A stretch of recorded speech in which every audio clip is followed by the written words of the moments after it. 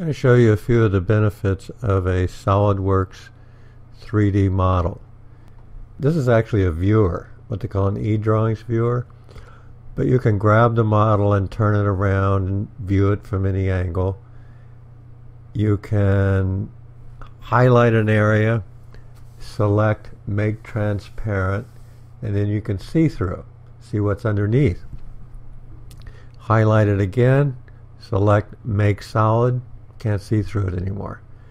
In this case, we're going to zoom in on the on the uh, hatch up front, make transparent, and we can see that what's inside there is a little portable three-gallon fuel tank. So we're going to highlight that area again, select make solid. We can't see through it anymore. Now we're looking down in the cockpit and I'm going to select what, what we call panel A. Panel A is the panel that the whole boat is built around. So that's a plywood panel, half inch plywood. And it's just like a cookie cutter top view profile of the, uh, the boat hull. And that's what it provides a sort of a pattern to go by. So the top half is built on the top of that, the bottom is built on the bottom. Now what I'm going to do this time, instead of selecting just panel A, I'm going to go over to the design tree and select panel A assembly. And when I have that selected, I right click and I say separate assembly drawing. Now I can go into the model and here I have the whole panel A assembly with the transom and the spars and you know support for the transom and you can see how the transom is really tied into panel A. And these spars run sponson to sponson across the middle of pa panel A. So it's a really tough structure when you build up the foam around that. So I'm going to close panel A assembly. Now we're back to the complete assembly.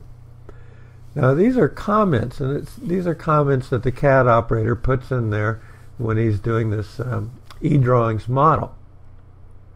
And so that just says you're looking at the cockpit. Those are footwells uh, that the rider uses, and you're in kind of a, a crouch motorcycle position when you're when you're riding HydroRunner. Now, with uh, any boat with the low sides that HydroRunner has, you're going to get water into the the inside. So we decided we don't care if we get water inside. We're going to get let it come in through these large holes and drain out through these large holes. And uh, so these are fixtures that cover the holes on the outside. So when the boat gets up on plane, the footwells are the water's just sucked out of the footwells. When the boat settles down into the water, when it's off plane, then the footwells fill up, maybe about two or three inches with water. Now this is the cockpit itself. The center console is padded, knee knee pads. There's a uh, instrument panel on the handlebars, and it's a sort of a crouched motorcycle riding position. Now, the boat uses a portable fuel tank, and you can't just cover up a fuel tank and, and close it. So these are uh, uh, scoops that suck air out the back of the fuel compartment, and this this is a scoop that forces air in. So there's flow through ventilation into that fuel compartment, fuel tank compartment, and that keeps all the fumes out. Now this is just showing again the the uh, the hatch up front, and it's showing that there are hinges on the right side of the hatch. So there's latches on the left side, hinges on the right side.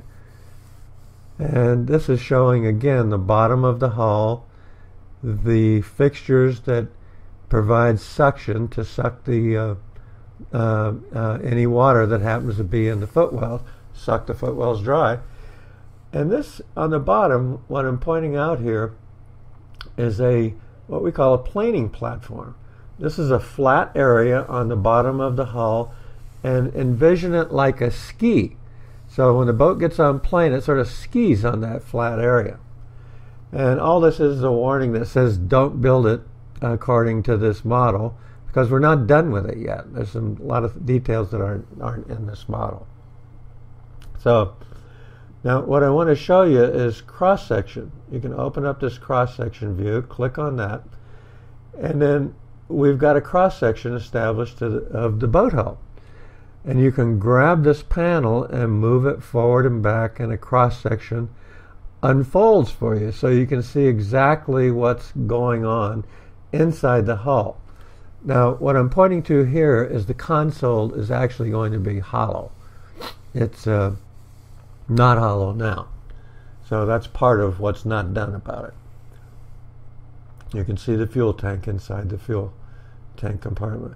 Now I've switched directions so that the panel is going longitudinally, the cross-section panel paneling, instead of uh, crossways on the boat. And as I grab that and move it across, you can see the boat sort of unfolds and lets you see what's inside.